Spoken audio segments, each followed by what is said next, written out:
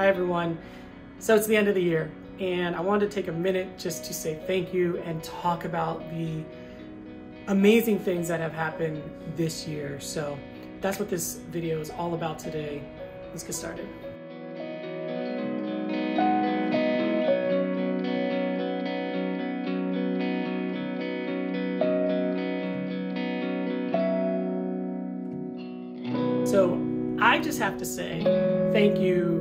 Literally the bottom of my heart to everyone who has watched my videos this year, everyone who has followed this entire journey.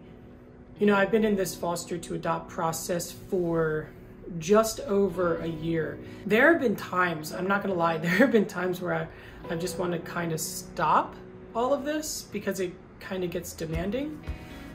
But then I'll get like a video, uh, not a video, a, a message on Instagram or an email or whatever it may be from someone just, or comment on YouTube, someone just like saying, thank you so much for telling your story. And I've had people say like, thank you for showing the side of foster care that not everyone really sees. I've cried on camera. I've like shared the, you know, days I've gotten phone calls to pick up children and my anger when they didn't show up to my home. I've shared with you guys the time when I was gonna stop fostering and go the route of IVF. I've been through a breakup with you guys this year. And then I came back to foster care with you all. And someone said something really interesting to me the other, maybe like two, no, maybe three weeks ago. And I can't remember who it was. Oh, it was my best friend, Lauren. She had said to me, Kevin, you have to remember like you started foster care, shared that with the world, stopped, and then went to IVF, and then came back to foster care don't forget how amazing it is that you were able to share your vulnerabilities throughout that process. And it got me thinking like, well, she's absolutely right because a lot of people, first off, a lot of people don't share the story of fostering. So the fact that I that I went backwards in a way could have been something where I was really scared to share with people, but I opened myself up and decided to like share that. And the reason I ever continue documenting all of this is because that's the reality. This process is not easy. Parenting is not easy in the first place, but I just gotta say, parenting through the foster care experience is a whole nother level. It is a whole nother thing. And the amount of like energy, time, and heart that you put into this process and into these children, I'm telling you, at the back of your head, you always know, man, they could be gone like that. And there's times where I've had feelings of really amazing joy and optimism and I have to hold on to those little moments, those little miracles, and just trust that that that that's real. And I've learned that you have to, you tend to have to um, over exaggerate the small miracles along this process. But I thank you guys for just for watching. I have watched the views skyrocket. I've watched the uh, subscribers skyrocket. Every video that I put out now, between 40 and between like 45 and 55% of my views are coming directly from YouTube, which is an amazing thing. I never, I mean, I know I always had a goal, but like to watch it happen is just like, wow. And there, there have been some amazing people like Kristen, she sent me some onesies for baby R, a mug about foster care. Um, other people have sent me like like this plush, like soothing bear that makes this like sound for kids, and he still uses it. Um, and and by all, the most amazing things that have come out of this are the responses from people that have said things like, "Wow, thank you for sharing your experience with foster care." you are the reason I have decided to go this this route to have a child. Wow. Thank you for showing that LGBTQ people can make amazing, amazing parents.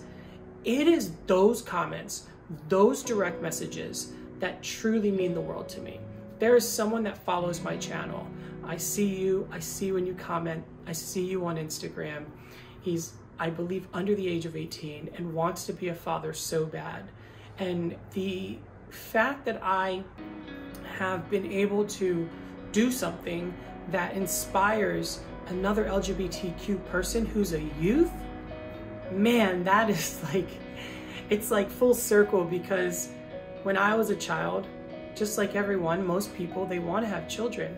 But I think what happens to younger LGBTQ people is that we get so consumed with discovering our own sense of identity that the thought of marriage and the thought of having children kind of gets put on the back burner unconsciously because it it becomes something that doesn't seem very possible to us. Um, but it's still there. It's still something we want. I really appreciate the fact that the people that watch these videos allow me to be myself, to be the gay Christian man that I am. It can be really, really scary to share that you are a gay Christian. Like, it can be really scary because there are times where you can feel like other LGBTQ people want to persecute, pers- persecute you because of you being a faithful Christian. But what I will also say is, in the same respect to foster care, through my own sense of like, let me be vulnerable, let me be authentic, I've kind of used my platforms while they're not the biggest platforms out there.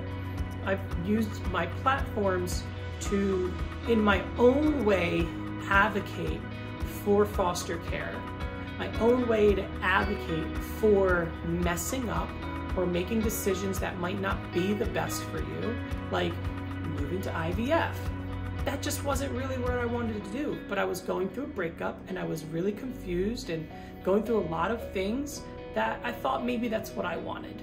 And it turned out it wasn't, and that is okay. And I've been able to use this platform to let other LGBTQ people know that if you are a believer, if you want to be a believer, if you're scared to be a believer, that you can. There have been people on Instagram who have sent me DMs who comment on my pictures and say, Thank you for speaking up for who you are. I've always been the type of person who's sort of been a little bit different, outside the box. Um, kind of like people don't really understand why I do what I do. And that really plagued me for a long, long, long time until I decided to say, sorry, I don't want to live a life where I'm making decisions and moves in my life for everyone else. And that has, hop- happened a lot to me by no fault of my own. Like, I've made those decisions. And fostering to eventually adopt has been the thing for me that has taught me the most perspective about life and the most about what really, really matters in life. I used to like, there was a point in the process of everything when I got baby S. In the beginning, I was very much like, I have to get these videos out, I gotta do them, they gotta be perfect. And then baby S came. And my God, my work, it was like an instant, there was an instant sense of, whoa, this is what life is about. There's a photo I'm gonna put on the screen. And when I was walking past that mirror and I saw myself and my dog jumped on my leg and I sent a text message to my friend Joe and I said, I finally figured out what life is about. We are not here to do anything other than be of service to others. It was a beautiful moment. And then baby L came and that was only a one week placement and I got to experience what two children were like at the time. And that was really hard. I could do it, but it was really hard. And then the IVF stuff. And then when I came back, I want to share, I don't know if I share this, but I want to share why I came back to foster care. So, one day, it was after my relationship, and I'm not going to lie, when I ended that relationship, I thought to myself, it was like a deep breath. and instantly, we took about two, two and a half weeks to just discuss this breakup.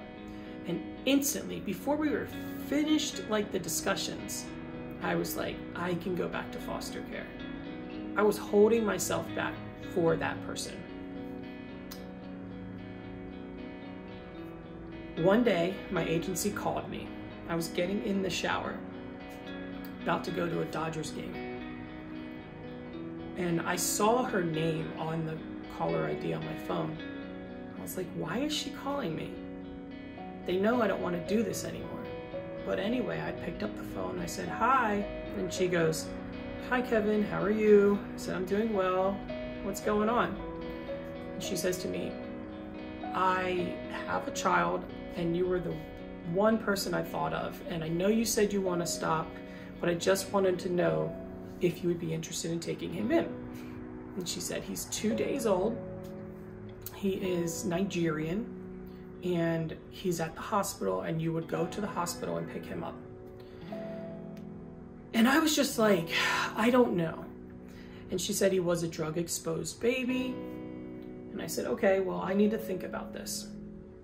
So as I'm, I said, can you do me a favor? call the social worker and find out what drug he was exposed to because that is um, important to know as far as the mental and physical um, ramifications of that has throughout childhood. So she said, okay, I'll call you right back. And I knew I only had like three to five minutes before she was gonna call me again and I had to make the decision. So I get in the shower and in the shower, I drop to my knees and I say this God, please let me know if I should take this child in. Please let me know if I should take this child in. And instantly, I swear to you, instantly, I heard yes, yes. Not just one yes, a yes to each of my questions. And I said, okay. When she calls me back, I'll say yes. So she calls me back. I answer the phone when I'm in the shower. And I said, okay, I'll take the child. She says, okay, great. Uh, I'll give you, I'll call you with the details. And I just remember thinking like, I was a little bit like, wow, I'm going through this again. And then she calls me back um, like 30 minutes later and she says, oh, Kevin, I'm sorry, but they're, they're having to keep the child for 10 days because of the exposure. And at that point I knew like, okay, that baby's not gonna come because 10 days in the foster care system could mean like anything can happen in, in a couple hours.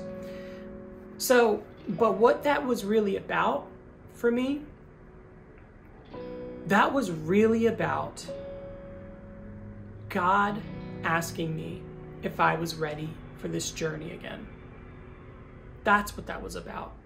I believe God wanted me to ask the question should I do this again? Or God wanted me to be open to it again, and He wanted to see what I would do.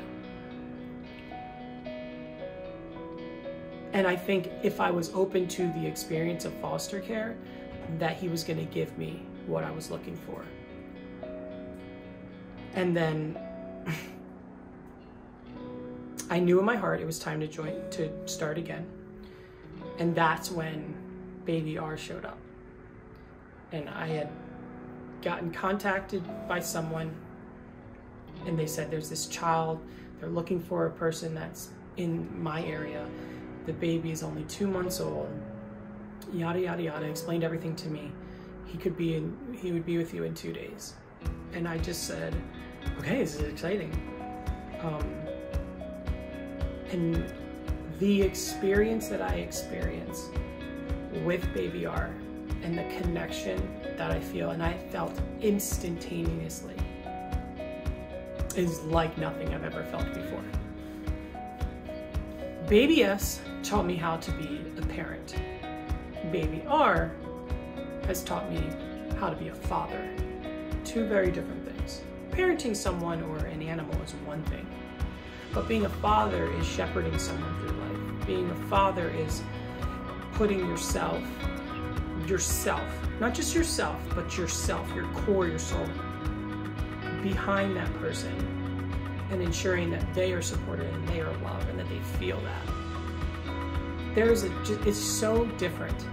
And then the love that I feel toward him. There's a gratitude that I believe that this child chose me to be with him in his life right now there's difficult times, there's difficult things that I'm dealing with revolving the, the system and just being a father in general. There are different things that I'm experiencing. But at the core, at the center of it all, is Baby R. And I have to remember that, and everyone in his life is doing their best to remember that. And I think that that is the most beautiful thing of all. So, I just want to say, again, thank you all for, for following along. Truly, it's been a solid year where you all have like seen all the, ch the children come through here. You've seen my emotions, you've seen my tears, you've seen my joys, my happiness. And I am really excited about the future and what's what's going on. You can never say for sure when it comes to all of this. But I'm hopeful. I'm hopeful. With that, have a great new year. Be safe. Follow the laws with fireworks. Get your vaccine if you haven't. Get your booster if you haven't. Stay safe. You are all so, so, so, so, so loved. I wish there was another way I could show it to you. But onward from here. Onward from here. Peace out.